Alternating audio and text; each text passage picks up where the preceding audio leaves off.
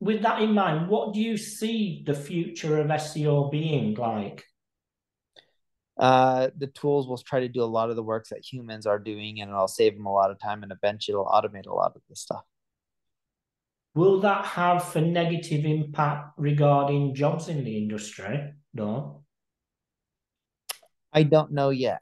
And the reason I say that is there could be elements that a tool can't do well, like strategy, um, or a tool may not be able to integrate the personal experience as much.